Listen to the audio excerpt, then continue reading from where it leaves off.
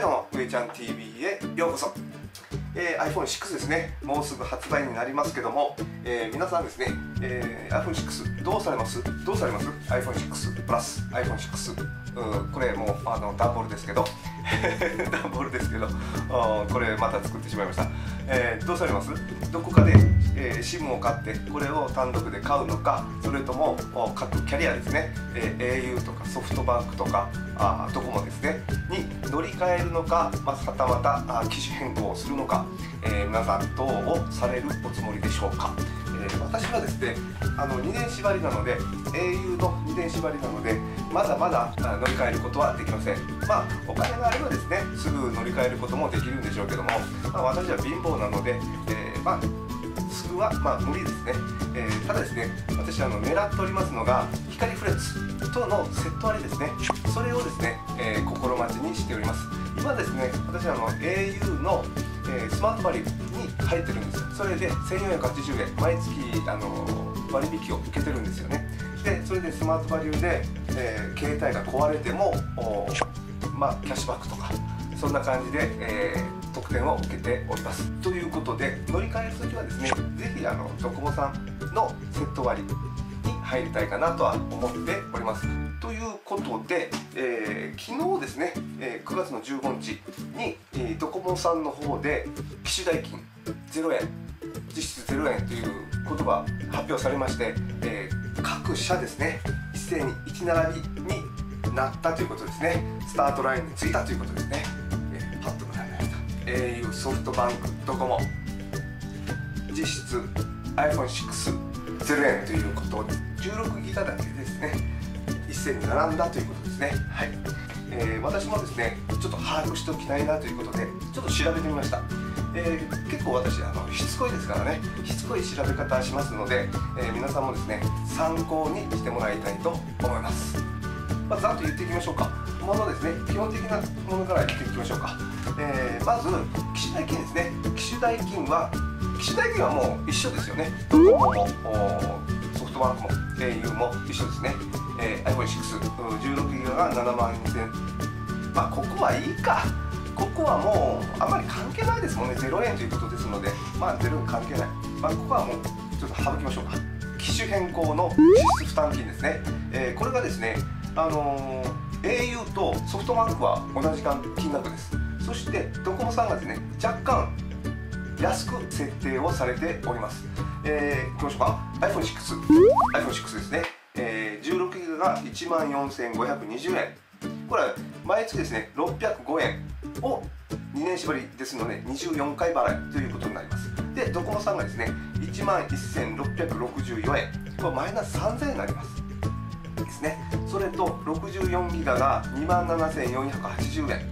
で毎月1145円の24回。128ギガが4万9080円。で2045円の24回になります。それと iPhone6 プラスですね。16ギガが2万7480円。これは1145円の24回払い。はですねドコモさんがまたこれも3000円安いです、えー、2万4624円になります。と64ギガが3万8280円。と1595円の24回払いになります。と128ギガが4万9080円。の2045円かけ24回払いになっております。次がですねあの乗り換えですね。乗り換えの金額ですね。栄養さんがですねちょっと注意しておかなきゃいけないのがデジラとかなんかそんなやつですね。に入っておかなきゃいけないっていうやつですね。あのデータ定額2ギガ3ギガ5ギガ8ギガ10ギガ13ギガのやつですね。これかもしくは LTE プランに入っていないとこの割引は受けられません。毎月割が受けられないのでここは注意してください。でいきますよ。iPhone616 ギガが0円。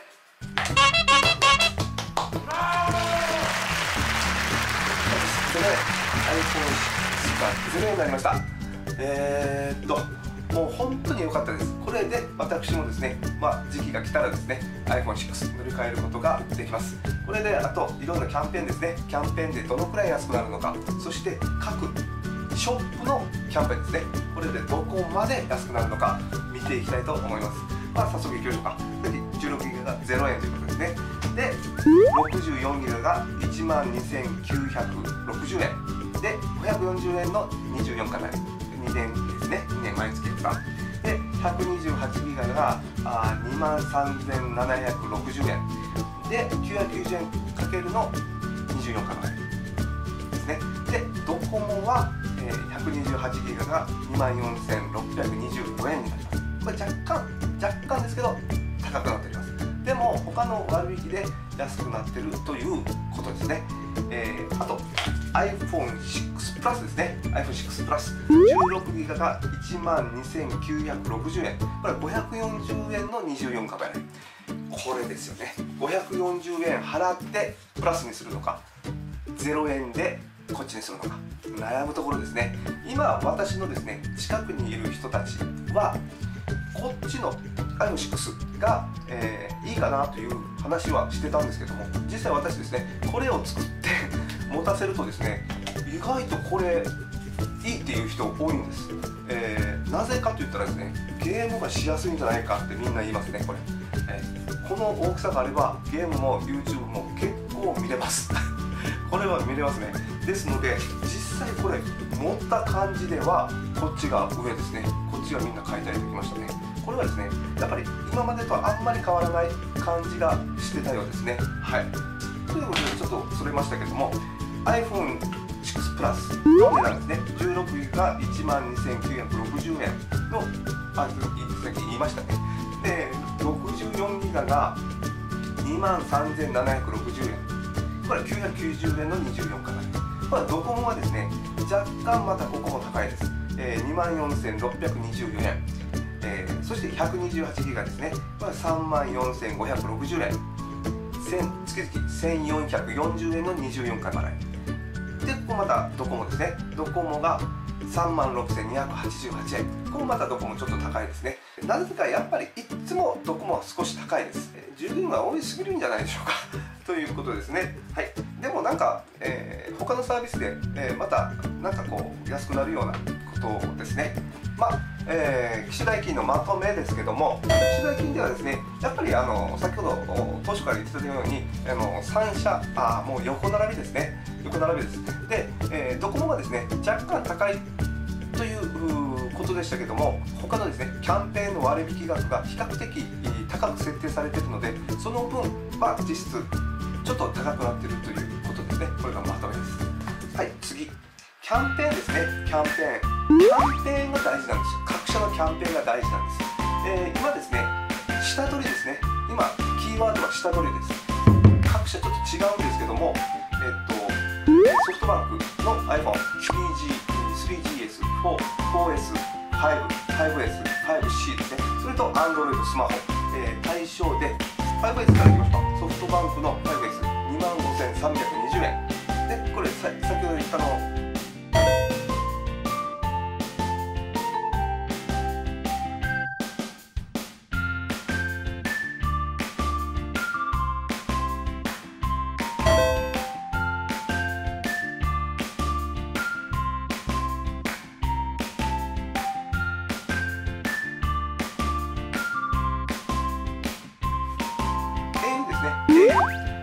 は iPhone の 5S の64ギガが2万6000円です。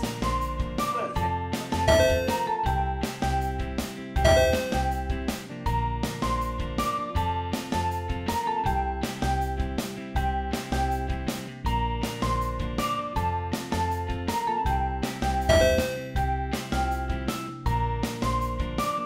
ドコモの下取りプログラム。これがですねでかいんです。最大で最大で4枚になっております。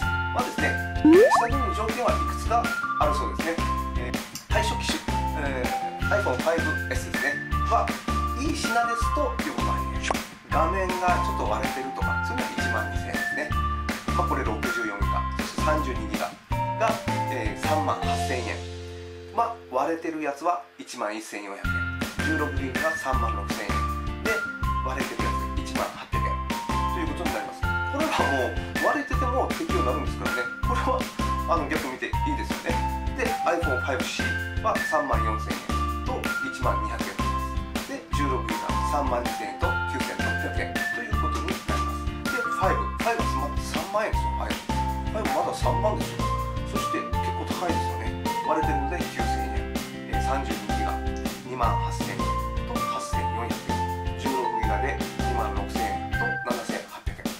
ですね。